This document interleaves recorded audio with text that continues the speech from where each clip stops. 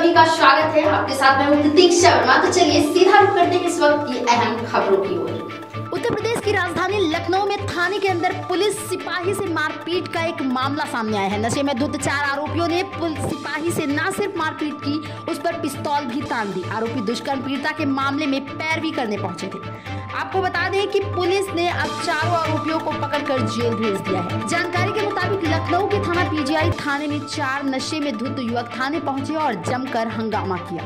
आरोप है कि सरोज कुमार, अजीत कुमार शुभम सिंह और अंकित नाम के युवक देर रात तकरीबन दो बजे पीजीआई थाने पहुँचे थे। इस दौरान सिपाही राहुल कुमार ड्यूटी पर थे। युवकों से नशे में थाने पहुँचने का कारण पूछा गया तो चारों सिपाही पर भड़क गए और गाली गलौज शुरू कर दी। विरोध करने पर आरोपियों ने सिपाही पर पिस्तौल तान दी और उसके साथ मारपीट शुरू कर दी।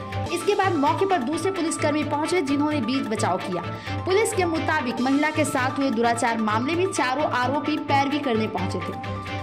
इस मामले में कमिश्नर डी के ठाकुर का कहना है कि बाबूखेड़ा के रहने वाले सर्वेश के खिलाफ एक युवती के साथ दुष्कर्म का आरोप था। मुकदमा दर्ज होने के बाद इस पूरे मामले की जाँच की जा रही इसी बीच चारों आरोपियों ने थाने में पहुंचकर दुष्कर्म के आरोपी की पैरवी करते हुए सिपाही के साथ मारपीट की और उस पर पिस्तौल दी पुलिस ने सभी आरोपियों को जानलेवा हमले समेत अन्य धाराओं में मुकदमा दर्ज कर जेल भेज दिया है।